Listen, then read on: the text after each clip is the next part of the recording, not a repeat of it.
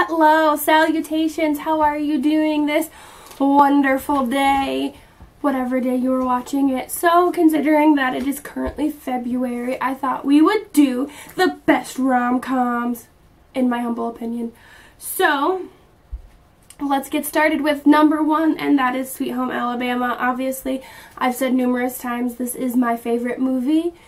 Therefore, obviously it's going to be the best rom-com. Like, I mean, what can you, do you, like, what? What is there not to like? It's just an amazing, it's just an amazing movie. Okay, okay. Next up is The Proposal. Obviously, that is also one of the best rom-coms because Ryan Reynolds, Sandra Bullock, Betty White, like, add Betty White into anything and it's 10,000 times better. It's hilarious. Go watch it. Next is 27 Dresses. This is a really, really, really good one. Um, it takes a spin on the always the bridesmaid, never the bride. and it's just, it's just hilarious. Go watch it. Next up is Friends with Benefits. Now, the only reason why I watched this movie was because one year my roommate in college um, got me this for Christmas. Um, this was back in my freshman year. And I was like, whatever, I'll watch it. It's actually pretty hilarious. And it's really sweet, sweet and cute, too. And it's got Justin Timberlake and Mila Kunis. I mean, come on. 10 Things I Hate About You. Classic. Classic. Heath Ledger, R.I.P. is amazing in it. And everyone else, too. It's just a real, real, really, really good movie. And you should go watch it. Next up is You've Got Mail. It's an oldie but a goldie, guys. I mean, it's really not that old. It's from the 90s. But still, it is a spin on, um, the, it's one of the first movies on the internet dating. I mean, they're not, spoiler, they're not actually, like, dating. They just talk back and forth. They're, they're pen pals, but in email.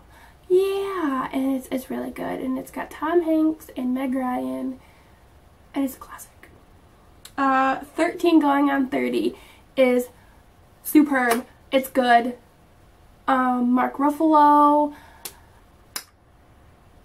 Jennifer something, I can't remember her last name, um, but it is amazing, and basically it's just like this 13 year old wishes that she could grow up fast, magic happens, and she's 30 and she realizes that what she, what she wants in life is not what she wants in life and so she changes it. Classic. Um, ooh, this is a new one. To All the Boys I've Loved Before. It's real good, guys. Real, real good. enough said. Um, Pretty Woman. That is classic. Um, it took me a couple years to watch it because, you know, it was, it came out before me, I believe. Um, and it's basically about prostitute, hooker, I don't know. So like, why would my mom let me watch that? So I had to become an adult to watch it and appreciate it, and it's good. It's good, guys. And then last but not least is Pretty in Pink. Again, took me until I got into high school to watch this because it came out in the 80s. I wasn't born until the late 90s. I just never really had any interest up until high school, and so I watched it in high school because it's it's not it's not like it's not like Pretty Woman where it's you need to be an adult to watch. I mean, you don't need to be an adult to watch Pretty Woman, but like in my house, you had to. It's good. It's cute. It's high school fun. So yeah, thank you guys so much for watching. I know I kind of went through that kind of fast. Sorry.